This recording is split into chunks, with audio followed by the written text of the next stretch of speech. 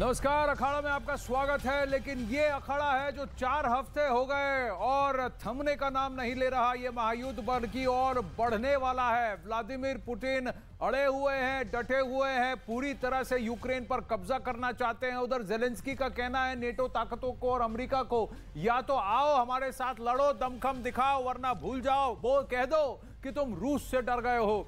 तो दोनों तरफ़ से एक दूसरे पर पूरी तरह से हावी होने की कोशिश की जा रही है, लेकिन यूक्रेन धीरे धीरे तबाह होता जा रहा है और रूस के कब्जे पे आता जा रहा है।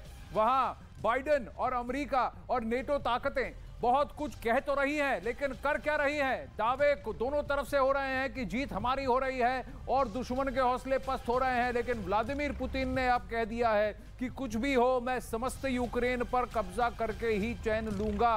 चार हफ़्ते से चल रहा यह महायुद्ध। थमने नहीं, बढ़ता हुआ स्वरूप देता हुआ दिख रहा है।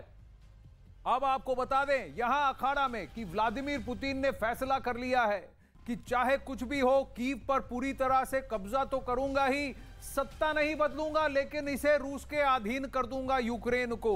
यह मंशा लेकर व्लादिमीर पुतिन चल रहे हैं और यह भी कह चुके हैं कि अगर तीसरा विश्व युद्ध आप छेड़ते हो तो ये यूएस और नेटो की गलती होगी। मेरी नहीं, मेरी मांगे बिल्कुल साफ़ थी, लेकिन आपने उसे दरकिनार की, इसीलिए मैंने हमलावर हो गया। लेकिन इसमें बर्बाद कौन हुआ? यूक्रेन। घर से पलायन किसको करना पड़ा? यूक्रेनियों को। कम से कम एक लाख से ज़्यादा परिवार बेघर हो चुके हैं, घर से निकल चुके हैं। ये बताया जा रहा है, एक करोड़ से ज़्यादा परिवार, क्योंकि 10 मिलियन का पलायन का नंबर आ चुका है यूनाइटेड नेशंस की तरफ़ से। तो इतने सारे बर्बाद, एक पूरा देश बर्बाद, ये कैसे ठीक है? अब आपको बताते हैं कि युद्ध कहाँ कहाँ छिड़ा है, और इस वक्त एक बहुत बड़ी खबर आ रही है, मारियोपोल में रूस की भारी बमबारी।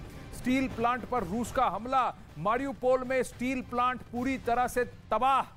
अब मारियोपोल स्ट्रेटेजिकली हर बार मैं आपको कहता हूँ, बहुत इंपॉर्टेंट है रशिया के लिए। ये एक पोर्ट सिटी है, समुद्र के निकट। और अगर मारियोपोल पर रूस पूरी तरह से कब्जा कर लेता है तो दक्षिण पूर्वी यूक्रेन पर हावी हो जाएगा। ये बहुत क्रिटिकल जगह है पोर्ट सिटी है।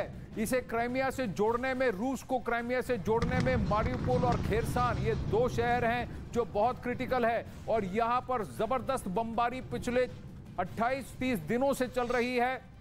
रूस पूरी तरह से अभी भी मारियोपोल पर कब्जा नहीं कर पाया। इससे पहले रूस का आरोप था कि यूक्रेन ने जानबूझकर आम लोगों को वहाँ एक ढाल बनाकर ह्यूमन शील्ड बनाकर रखा हुआ है। कम से कम बीस हज़ार यूक्रेनी थे, जो कि वहाँ फंसे हुए थे। एक थिएटर पर बमबारी कर कर मासूमों को मारने का आरोप लगा है व्लादिमीर पुतिन और रूस की सेना पर। उन्हें वॉर क्रिमिनल करार दिया गया है लेकिन फ़िलहाल ये तस्वीरें वहाँ की एक इंडस्ट्रियल पोर्ट सिटी मारियोपोल के स्टील प्लांट को पूरी तरह से तबाह कर दिया रूसी एयर स्ट्राइक्स ने।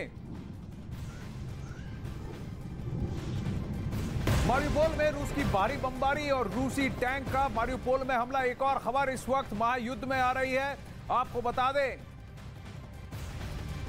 मारियोपोल में रूस की भारी बमबारी चल रही है। मारियोपोल में रूसी टैंक का बहुत बड़ा जमावड़ा देखा गया है। रूसी टैंक का मारियोपोल में बहुत भारी हमला चल रहा है तो एरियल स्ट्राइक के साथ साथ अब सरफेस पर आर्टिलरी गन फायर भी तेज हो गई है।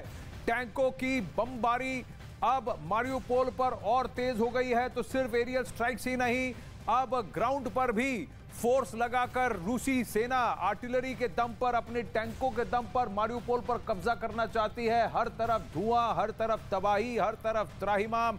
यही नज़ारे दिख रहे हैं। ये सैटेलाइट इमेजेस हैं।